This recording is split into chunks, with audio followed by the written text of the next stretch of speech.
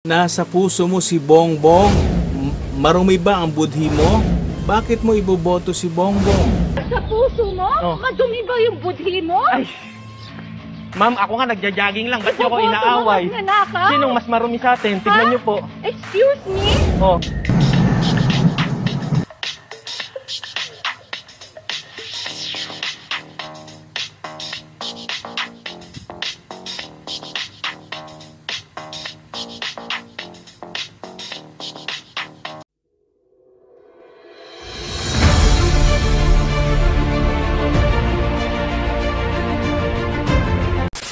Makikisugal ka na lang doon ka pa sa taong bulok. Paano masabi? Nais mo bang sumama mag-jogging sa akin bukas sa UP Oval? Kung first time mo pa lang sa channel na to, please consider subscribing by clicking the subscribe button and click notification bell and select all para updated ka lagi sa mga susunod kong video na posibleng makatulong sa'yo. Magandang araw mga kagala! Hayaan nyo muna mag-segue po tayo sa ating episode na to para makapagbigay po tayo ng reaksyon sa video na viral ngayon ah, patungkol sa isang ah, senaryo o pangyayari dun sa UP Oval na kung saan merong isang ah, lalaki no na hinaras ng isang babae na taga UP di umano at ah, isang itong lalaki po nito ay BBM supporter at ah, nilait-lait po ito ng isang babae doon dahil lang alam niyo ba kung anong dahilan dahil lang sa suot niyang face mask na kung saan naka- nakalagay ay BBM at kulay red. Alam niyo po hanggat maaari ayoko sanang ah, makisama sa usapin ng politika dahil ah, gusto natin mag-focus sa ating content no patungkol sa mga LTO, patungkol sa mga licensing, sa travel.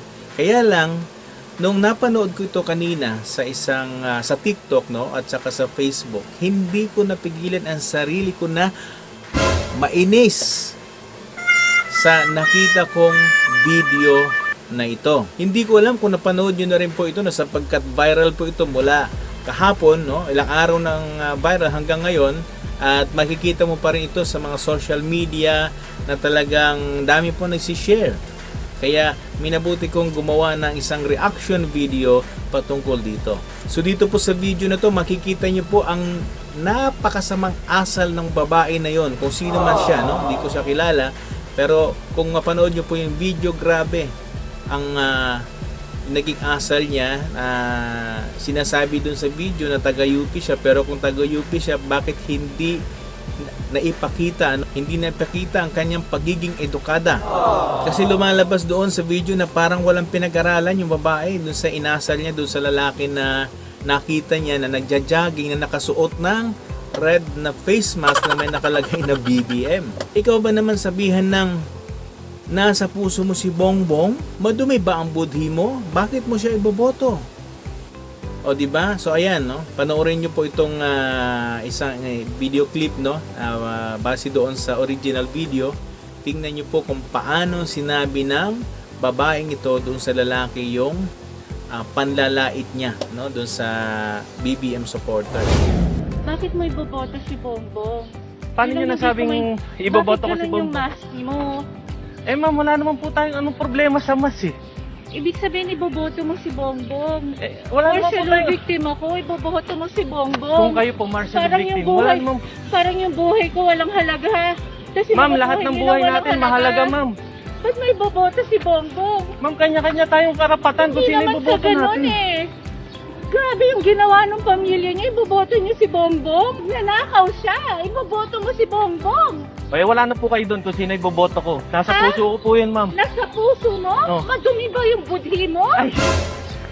Ma'am, ako nga nagja-jogging lang. Ba't niyo ako Iboboto mo inaaway? magnanakaw? Sinong mas marumi sa atin? Tignan Ha? niyo po. Excuse me? Oh, So nakita niyo po no, anong karapatan niya para sabihan niya ito ng ganon? Ganon ba kadesperado ang mga taga-suporta ni VP Lenny? Kung tutuusin, nagja-jogging lang yung mama doon sa UP Oval, di ba? Nagkataon lang na nakasuot siya ng isang red na face mask na may nakasulat na BBM. Kasalanan na pala ngayon ang magsuot ng ah, t-shirt or face mask na kung saan may nakasulat ng pangalan ng kandidato na iyong sinusuportahan.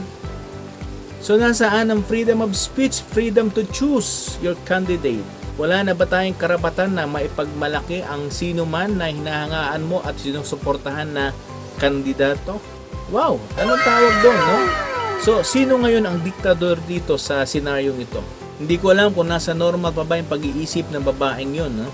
Ewan ko lang, pero sa tingin ko parang na, wala sa sa sarili niya eh. Parang hindi gawain ng matinong tao yung ginawa niya.